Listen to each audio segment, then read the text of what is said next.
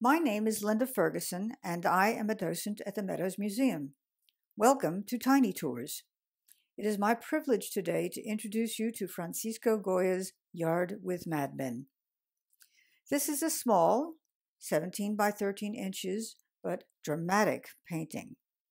Notice the lower two thirds of its picture plane is filled with muted, monochromatic earth tones depicting 13 figures inhabiting a dim, walled yard. They are cut off from the radiant, almost blinding silver light above. Through the murk, the light illuminates the muscled back of the naked man in the center. As he fights another naked man, a guard whips him to separate them. Behind them, a man wearing only a shirt crawls on all fours. In the foreground, a man on the left stands with folded arms. The man on the right sits clutching his knees. Both stare vacantly at the viewer. In the deepest gloom, a few inmates cluster against the right wall. Just behind the guard, a long haired man stands erect. He is profiled against the light gray barred gateway and flanked by two huddled men. Facing the viewer, he gesticulates with arms aloft. Above, the two walls intersect, forming a shallow V against the light, a V that seems to point down to that man who literally stands out and the first fighter. This mysterious and disturbing scene is not what most artists probably would choose to paint. But Goya was not most artists.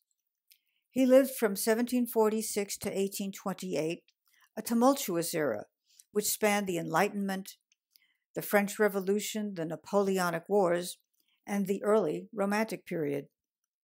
He was a provincial artisan's son and a man of the people who had risen up to become first court painter. In that capacity, he usually painted royalty, nobility, the intelligentsia, the rich and famous, and he painted subjects that interested him. He painted Yard with Madmen in early 1794. His letters show that for much of 1793 he had suffered a terrible illness. Though he recovered from most symptoms, he lost his hearing permanently. While recuperating, he painted 12 small cabinet paintings on identically sized pieces of tin.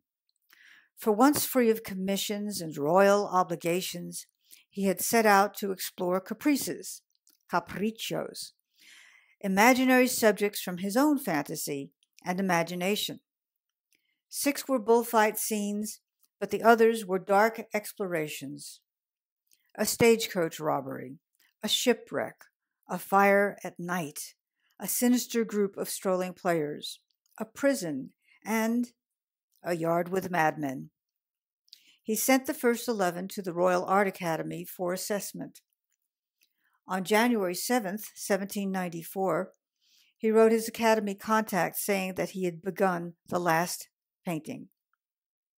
Quote, a courtyard of lunatics, corral con locos, two of whom are fighting nude with their overseer beating them, and the others wearing sacks.